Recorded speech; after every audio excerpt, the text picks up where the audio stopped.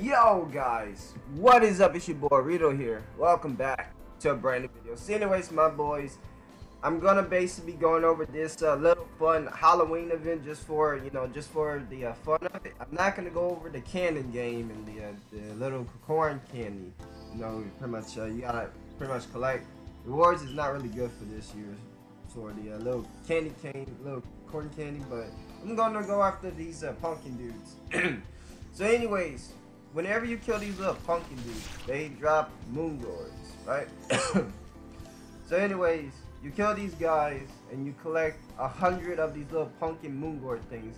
And pretty much, once you collect a hundred, you combine them with pretty much, you know, a campfire. I got 3,400 and I can, uh, I can pretty much, I can make 34 of these little uh, pie things, right? So when you open up these little pie things, they they give you like they give you like all types of uh they give you like all types of random rewards. Like they give you a vamp, they give you a vamp outfit, they give you a mommy outfit, um, which pretty much uh I don't really like it that much. I don't know. Give me a second. Yeah, let me find let me find that stupid skull. Alright, so like one of the most major items right here from it is pretty much this little uh, Ghost Rider skull thing. And then there's more, then you get footsteps, uh, you, you get the point. It also depends on uh, RNG. Cures all, 3, rare skull mask. Yeah, so anyways, every single day, right, it kind of sucks though, every single day you get three campfires, meaning that you can base open up three a day. and it kind of sucks. In order to basically get more, you gotta basically, uh, you gotta pay to win, to be honest. Like, one campfire is like 90, uh, 97?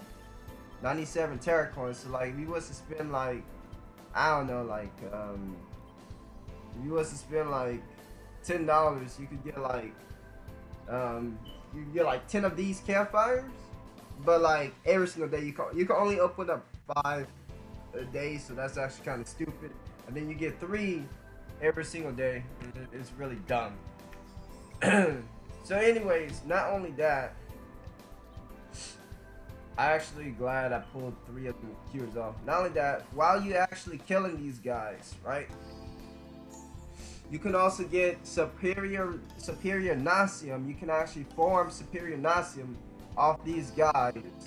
And then then they also drop squishy pies, which pretty much you can stack them up and just keep on using it. And uh, every time you eat one, like 100%. It helped me a lot in Bahaar when I was about to, when I should have basically died in the fire.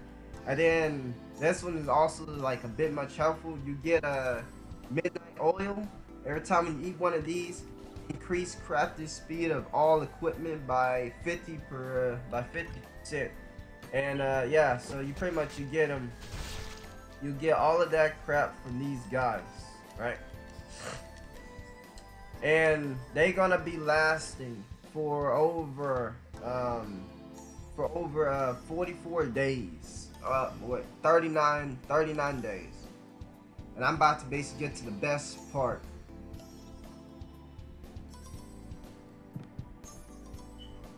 Alright you guys, so anyways, I'm gonna tell you how to basically farm these pumpkin dudes.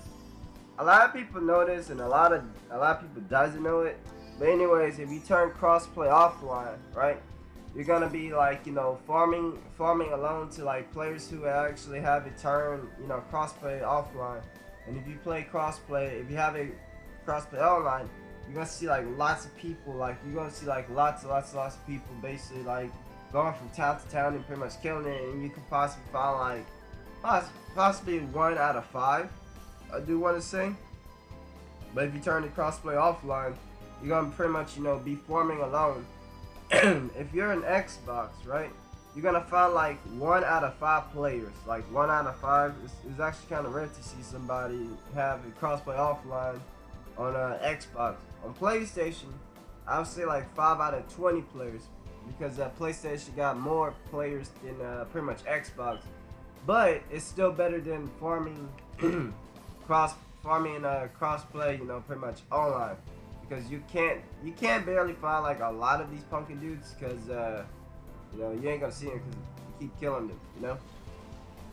So anyways, uh, so anyways, you could pretty much go like whatever place when you have your craft set to offline. You could just go whatever you want and just pretty much kill pumpkins.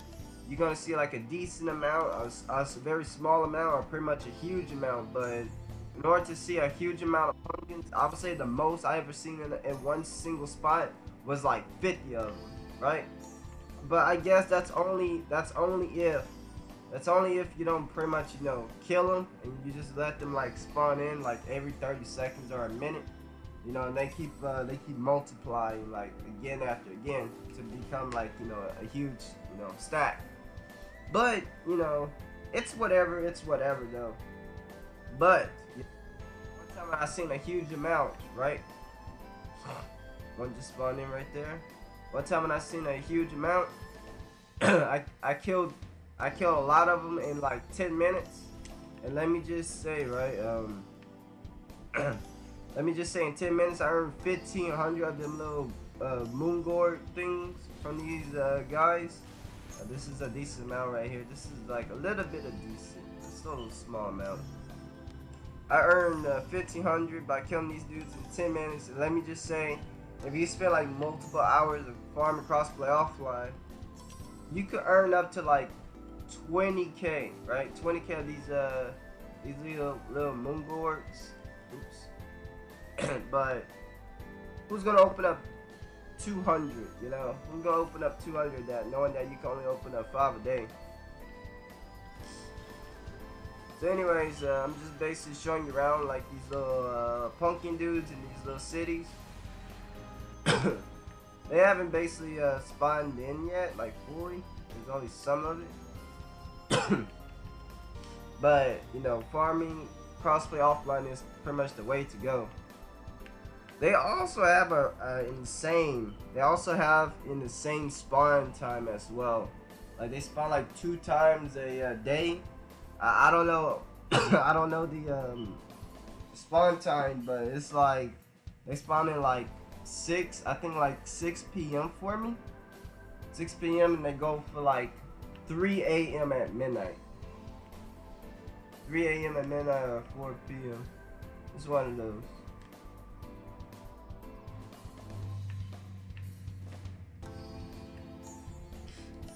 Alright, this is actually small amount. These are these are a lot of small amounts. I can't I can't show you a big amount because they have they haven't they haven't spawned in.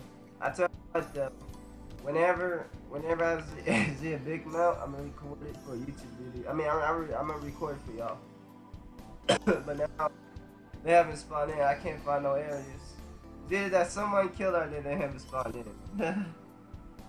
but anyways, um about to wrap this uh about to wrap this video up um uh, you could you could just basically farm these guys to basically get superior Nasium and uh you know these little Frito freaking pies.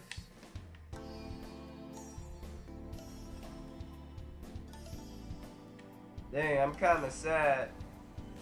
I wish I had recorded the times when I seen a big assy amount I regretted it. But then again, it was like 2 a.m., so I don't know how long it took. But anyways, y'all get the point. Farming crossplay offline is superior. So anyways, I'm gonna wrap this video up pretty much. Alright. If you want to basically farm alone and run into like possibly like, you know, just a couple of players, you got crossplay offline. And if you have it online, you won't barely see it. You would possibly see like one out of five on every single town. But most of them is deserted, but it's not it's not the superior compared to crossplay offline because you won't see players, you know, there unless they turn out. So anyways, hope you guys enjoy your day and uh, peace out. Dang, my voice hurts.